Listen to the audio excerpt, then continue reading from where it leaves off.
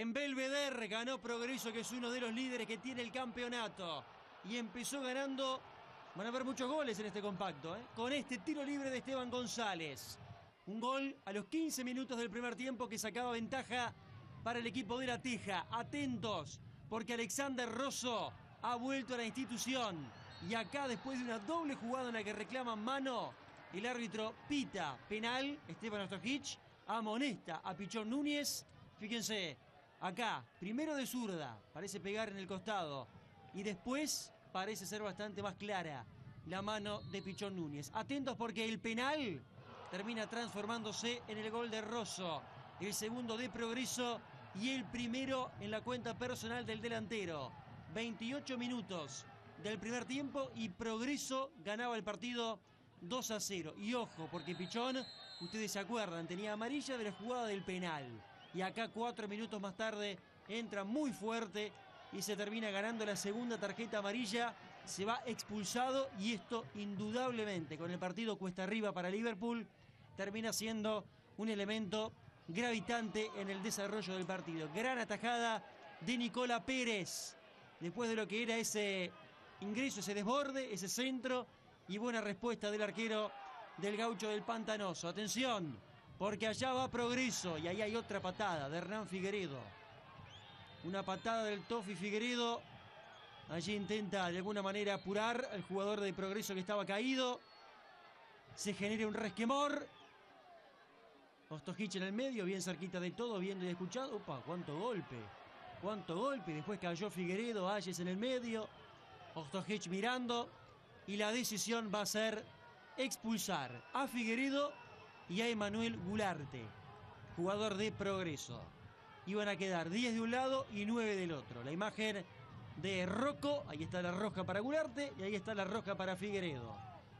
2 a 0, 9 contra 10. Tiro libre para Liverpool y otra gran atajada de Nicola Pérez. Evitaba el descuento del equipo negro y azul. A la cancha Clementino González en filas del equipo negro y azul. Se iba Diego Guastavino y el segundo tiempo tiene como primera intervención esta gran respuesta de Sebastián Lentinelli, que reemplazó a Baba, que estuvo suspendido después de la expulsión del otro día frente a Fénix. Ahí va Progreso, tiro de esquina, centro, falla Lentinelli y después del rebote justo le saca el gol a su rival. Fíjense de nuevo, después todo termina con un remate que da en el ángulo. Pero vean, el tiro de esquina, Lentinelli falla primero, después justito ahí, metiendo el puñetazo y después un remate que pica y sube y da en el ángulo.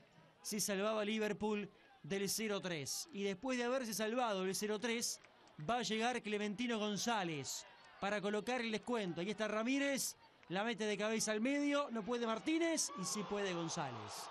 Y el partido estaba 2 a 1 para Progreso. Iban 13 minutos del segundo tiempo. Podía llegar a considerarse que Liverpool estaba a tiro del empate. Sin embargo, a los 16, tres minutos más tarde, otra vez gol de Rosso. Qué buen enganche y qué definición de zurda del primer palo de Lentinelli para poner dos de ventaja de nuevo para el equipo de la Teja. 3 a 1 estaba el partido en Belvedere. El enganche es medio gol. El enganche para que siga de largo Martín González y definir después rápido antes del achique del segundo marcador. Minuto 21 y otra vez va a aparecer el paraguayo Clementino González. Desborda Martínez. Engancha. Tira centro. Sigue esperando adentro Clementino. Hay penal. Hay penal. Infracción contra Juan Ignacio Ramírez. La pita Ostojic. Todos le reclaman. A ver. El centro del segundo palo. Ahí va Ramírez contra su marcador.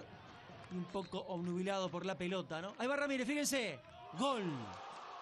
Gol de Liverpool. Juan Ignacio Ramírez. A los 19 ponía el 2-3. Le decía el marcador un poco obnubilado por la pelota. Termina llevándose por delante a Ramírez. Y ahí está Clementino para empatar. Clementino González y el empate para Liverpool. Ahora sí el minuto 21.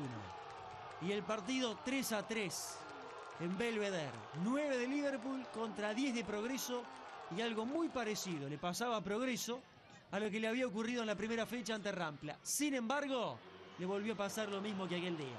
Muy cerca del final, volvió a sacar ventaja. El gol acá es invalidado. Porque cuando parte el remate desde afuera, cobran posición adelantada de Rosso, que la empujaba en la raya. Seguíamos 3 a 3. Pero va a aparecer Rodrigo Viega, que está haciendo goles, ¿eh? y todos goles importantes en el comienzo del partido. Acá la definición cruzada al minuto 82 para que el partido vuelva a estar en ventaja para Progreso. A los 37 del segundo tiempo, en ventaja el conjunto de Rocco que lo va a liquidar al minuto 82. Federico Millaset entró a la carrera de zurda, le dio el número 11 y así entonces liquidó la historia. Gol de progreso. Quinto gol de progreso. 5 a 3 ganó en Belvedere. Progreso que además le había hecho cuatro goles en el debut frente a, a, Rampla. Es cierto que también le hizo tres Liverpool acá, le hizo tres Rampla en el primer partido. En el medio un empate, una victoria, perdón, por lo justo ante Juventud 1 a 0.